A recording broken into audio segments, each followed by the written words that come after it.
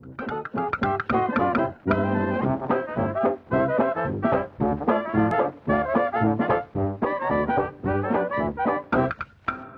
Sobat Buka Box, kita berjumpa lagi hari ini. Terima kasih yang kemarin sudah like dan subscribe. Yang belum tolong dibantu like dan subscribe-nya ya. Oke, hari ini kita kedatangan sebuah barang. Pengirimnya Oh nggak kelihatan ya pengirimnya. Dari Jakarta Ini dari Dunlopilo ya Oke, isi paketnya apa? Kita buka ya. Paketnya cukup besar ya.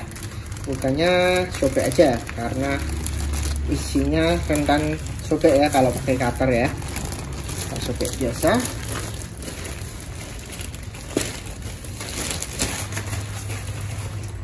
Oke barangnya ini.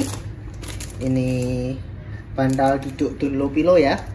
Saya beli ini warnanya oranye ya harganya 59.000 ini tidak ada keterangan apa-apa cuma ada tulisan Dunlopilo di sini ya. Ini ada plastiknya disegel ya. Plastiknya masih segel. Kita buka. Ini dalamnya kok kayak udah kotor gitu ya. Padahal ini segelan plastik ya nggak tahu kok bisa kotor dalamnya ya. Tapi semoga tidak mempengaruhi. Oh ini kotornya juga ada di sini juga. Kelihatan nggak? Agak berbeda warnanya nih oke kita buka langsung ya kita sobek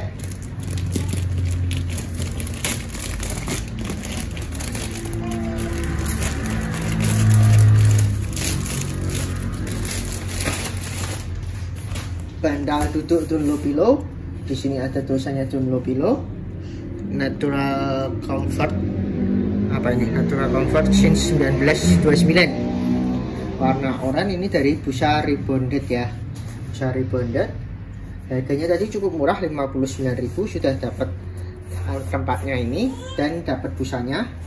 Ukurannya 40 kali 50 katanya dengan ketebalan 5 cm ini motifnya motif kulit jeruk ya dari kayak apa kulit sintetis gitu ya di sini modelnya kayak gerunjal-gerunjal gitu busanya nanti mungkin bisa kita lihat karena tadi kalau nggak salah ada bukanya slating ya kan?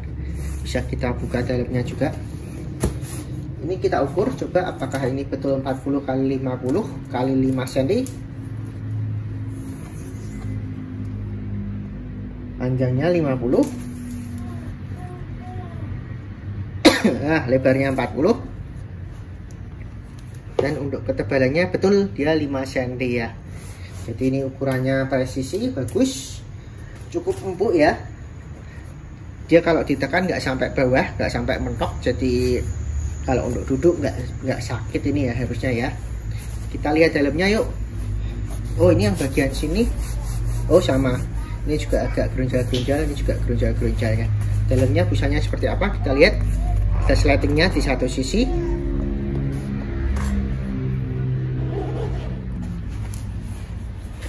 oh ini dia busanya dilapisin lagi ya. Jadi ada lapisannya lagi. Bisa dikeluarin nggak ya? Susah nggak masuknya kita coba keluarin ya.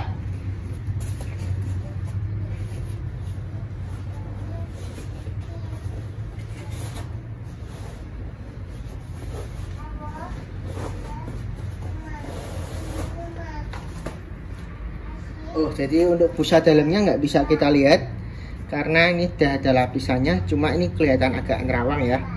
Oh, ini kan uh, sudah ini nggak bisa dibuka, nggak ada sletingnya lagi. Cuma ini kelihatan busa rebonded ya.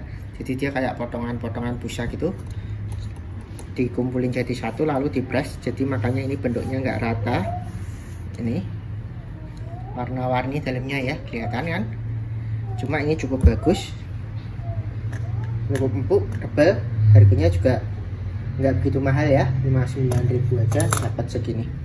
Cuma ini kok nggak tahu kok kayak agak basah-basah lembab gitu ya. Karena busanya atau mungkin karena pengirimannya juga kurang tahu. Ini rasanya agak-agak lembab sedikit. Oke cukup bagus. Sekian video kali ini tentang Dunlopilo alas bantal duduk rebonded foam ini ya. Terima kasih yang sudah menonton. Jangan lupa di like, comment, dan subscribe ya. Dadah.